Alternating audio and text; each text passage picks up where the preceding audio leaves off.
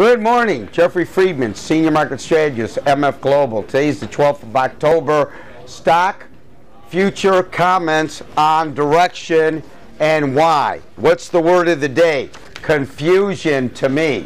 I'll tell you right now. We had a lot of information that came out. Okay, stocks are up in uh, pre-trading. Looking at the stock index future December S&P, we're around the 1202. Obviously, we have not really broken out yet, but we're getting really close. Uh, the number would be probably on a breakout above somewhere in this area on a closing basis. Um, I would have to say probably above 25 or 24, which would be your high end, your handles 12. Now, let's go over some of the news. Uh, yesterday I said the big word was Slovak, and that country voted no last night. That's a negative, you would think. You would think. Uh, Alcoa kicks off earnings season. Aluminum for commodities couldn't beat the street, and the reaction was at least 4% lower in after hours trading. That would be a negative, you would think, okay, on the stock index futures. Obama's job bill got shot down in Congress. You would think that that's a negative, okay? So those are three. What are the positives going into today? Pepsi Cola beat the street. That that's kind of important. But I think that that's more of a consumer and doesn't really affect the economy and it's global and global economics. Now, have said that, what's the other positive thing? Oh, Chrysler. They're going to add 2,100 jobs, not 21,000, 2,100 jobs by the year 2015. What's our date? 2011. So in four years, we create 2,000 jobs. I don't know if that's going to really pull us out of a possible recession double dip. So I'm not getting the rally, but have said that it looks like a momentum trade going on. Now, I'll say this. We're up seven days, maybe eight.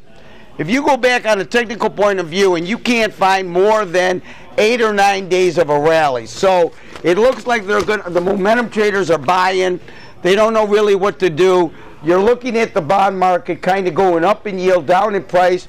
We've ne- we should have never been over 140 in the December bond. Looking at that kind of yield or 2% on the 10 year note, however you want to evaluate the 30 year or the 10 year or the twist program from the Fed, I'm saying that the bond market, people are getting a little worried of being long the bonds, and the bonds are coming out and they're coming out of the bond market, and maybe they're buying some equities for returns and appreciation down the road on an optimistic point of view. I do still think we're going to fail. The great news, real quick, the great news is that we can now define exactly what kind of risk reward, and that ratio is 2 to 1, 3 to 1, and those are always excellent trades to try to put on. Meaning, I will risk 15 to make 45. I will sell around 1200 in the December S&P future and put a stop maybe 15 points higher. If we rally up to 1210, that would be excellent because you could sell 1210, put a stop above 1225 and your hope is that you're going to go back to your 10-day moving average around the 1150 area and pick up 45 to 50 points. Remember always, trading futures or option to futures involves risk of loss, not suitable for everyone. I wanted to say one last thing real quick. What happens if you get stopped out? You let it break out of this huge trading range on a closing basis only, and then we look to get long on a momentum and obviously reevaluate the data that I've been talking about.